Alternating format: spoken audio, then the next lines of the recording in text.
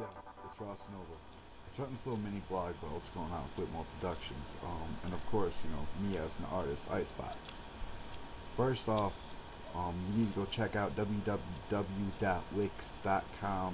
slash Whitmore Productions slash one if you haven't yet. Just got some new updates. Um, this will tell you a little more about what Whitmore Productions is all about. Uh, second, make sure you check out facebook.com slash icebox. Just uploaded some tracks a week ago. Um, these are unreleased up until now, uh, including a freestyle collaboration track with Luke of the Track Riders uh, and a personal favorite, Insomniac. Uh, shout out to Josh Canales out of uh, Sheboygan, Michigan for the instrumental, actually, to Insomniac.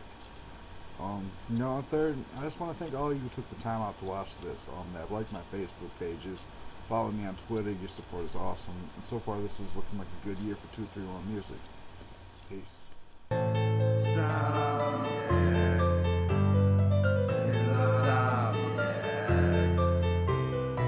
bedtime stories, they bore me, but when my head hits the bed, I think instead, can't shut it down, I close it out, nightmares.